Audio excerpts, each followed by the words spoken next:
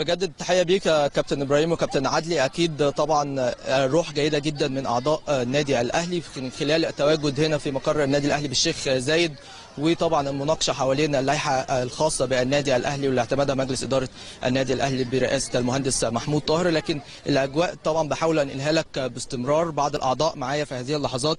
رأيك في الندوة النهارده وتعليقك على الكلام أو المناقشة اللي كانت متواجدة في الندوه زي الفل ما شاء الله يعني وإن شاء الله بإذن الله يبقى النادي الأهلي متقدم دايما في مجلس الإدارة دايما القناعة عنده إن كل الأعضاء بيبقى في مشاركة.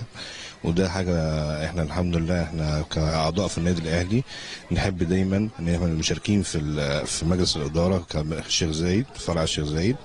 وإن شاء الله ميعادنا إن شاء الله 25 و26 بإذن الله. رأي حضرتك أيضا النهارده في الندوة مع المهندس محمود طاهر والله أنا شايفة إن الناس هنا بتشتغل بجهد بجهد جامد وكلهم حريصين يبقى في تعاون وجدية في الموضوع وإحنا إن شاء الله مشاركين معاهم وقلبنا مع بعض وإن شاء الله النادي الأهلي في تقدم وإن شاء الله للأحسن بإذن الله بأعضائه بإذن الله. قريتي اللائحة؟ والله أنا يعني لغاية الآن إحنا بنحاول نفهم كل تفاصيلها علشان نعرف بالظبط إيه الاستفادة اللي واقعه على النادي الأهلي وأعضائه لأن ده هيفضل لأولادنا واللي بعدهم واللي بعدهم وإن شاء الله يكون كل حاجة في صالحنا بإذن الله. إن شاء الله بإذن الله. لسه مستمرين أيضا ومعانا بعض الأعضاء طبعا كان النهارده في عدد كبير جدا من أعضاء النادي الأهلي متواجدين في الندوة دي عايز أخد رأي حضرتك في الندوة ورأيك أيضا في لائحة النظام الأساسي الخاصه بالنادي الأهلي. اولا الندوة كانت عظيمة جدا وضحت الفرق ما بين اللائحة الاسترشادية اللي اللجنة الأولمبية عايزة تفرضها على أعضاء النادي الأهلي واللائحة الخاصة بينا إحنا اللي إحنا اللي هي بتاعه النادي واللي هتنظم النظام الأساسي للنادي والمفروض نمشي عليها وواجبنا كأعضاء إن إحنا نحضر الجمعية العمومية اللي هي المفروض إنها هتبقى زي ما بيقولوا أهم جمعية عمومية في تاريخ النادي اللي هي هتحقق فعلا أول مرة بتحقق أو بتوضح إيه اللي إحنا هنمشي عليه بقيه آه تاريخ النادي الأهلي اللي هي هتبقى فايدة لأبنائنا وأحفادنا. لانها دي فعلا اللائحة اللي إحنا المفروض إن إحنا مش المفروض إن إحنا كمان مش 12500 اللي يروحوا.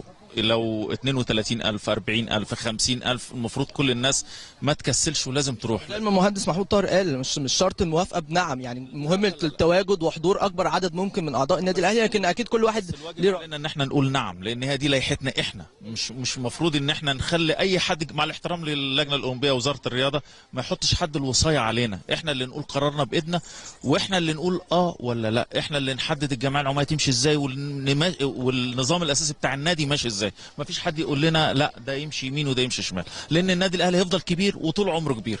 كبير قارة أفريقيا كبير الشرق الأوسط كبير مصر. لأن أنجح مؤسسة مش في الرياضة بس في كل حاجة في مصر هي النادي الأهلي. تحت أمر رأي حضرتك أيضا وأعتقد النهارده كانت ندوة مثمرة.